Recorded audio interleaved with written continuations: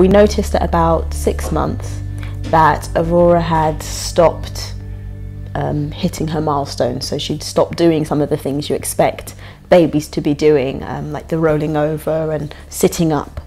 So I approached the health visitor about it.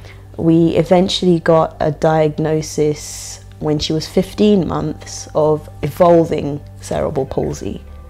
And what that means is that um, when a child is very young, it still will take a while for the full extent of the condition to manifest itself because there are different types of cerebral palsy, but at that point they don't know what type it's gonna turn into. So, in order to be able to kind of fund all of the things that we're, all the additional things that we're doing for Aurora, because obviously NHS is brilliant, but there are additional therapies and equipment and things that will aid her development and progression that aren't covered by the NHS.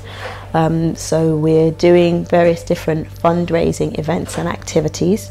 One of those things is an aerobathon, which was actually an idea suggested by Joni B, mm-hmm. who is a fitness evangelist. So an aerobicathon, or an aerobathon, whatever we want to call it, is um, a great idea to raise funds. Um, anybody can get involved we will be um, providing aerobics from 10 o'clock in the morning straight through till about 4, 4.30 in the afternoon. Um, however, within that five or six hour period, you can choose whatever exercise workout you want to do. We've invited various instructors, um, Adventist instructors, non-Adventist instructors are coming in, and they'll all be doing different workouts. So they'll vary from, um, we have a come dancing fit step instructor coming in, so she's coming from the you know the BBC One Come Dancing competition. So she's a trained instructor with that. So the, the workout will be those kinds of moves, the waltz and this and different kinds of um, genres of um, dance throughout the throughout the years. That's a really fun workout. We will be doing the latest um, belly blast workout that we just launched in the UK um, January 2015. So we'll be doing that as well. Um, we'll have Zumba, we'll have kickboxing. So there'll be a fantastic schedule with lots of things going on, and people can choose what they want to do. Now, super fit people might say, you know what, I'm going to get there from 10 o'clock and I'm going to work out as, as much as I can all through. And some people will pick and choose um, what they want to do. But if you're not working out, there's lots of other things that we're mm-hmm. going to have there as well. We're going to have competitions, things for kids, faints, painting, hula hoop competitions, skill auctions, lots of things are going to be going on. There'll be stalls, great food from really, really well known chefs. Um, and we won't say who yet. Um, and the food will be really, really reasonable. So, um, yeah, that's what the aerobicathon is. And all the money will go towards um, this fund. Now, um, we'll have a specific cost that you, you'll come in with, you'll pay at the door, and you'll get a free t shirt, you'll get all the water you need, we'll keep you going. We've got health professionals um, on board as well, so it'll be a great, great day. But you'll hear more about it oh, um, as we go along. We're going to send stuff to the churches, and we're also going to put the website, which you're going to mm-hmm. talk about as well.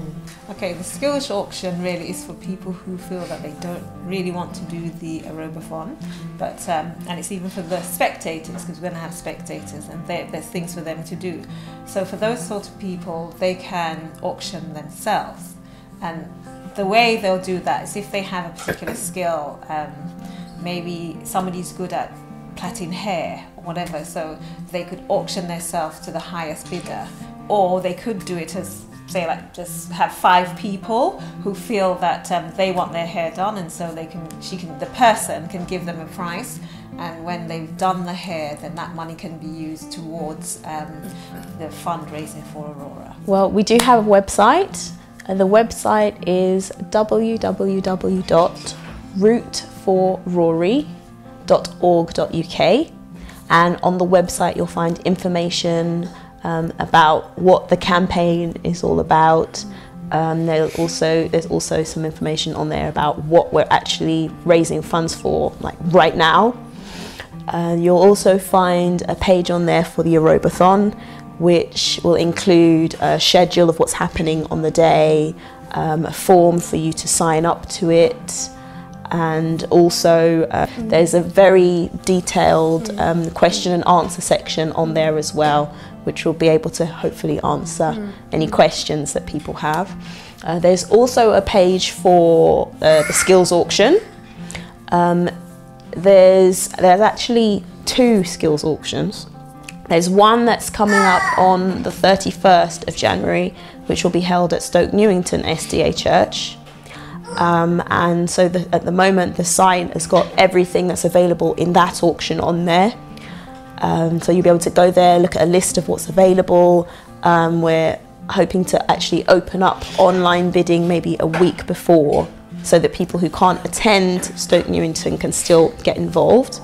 And then once that auction's happened, we'll then put up the information on what we've got available for the auction at the Aerobathon as well.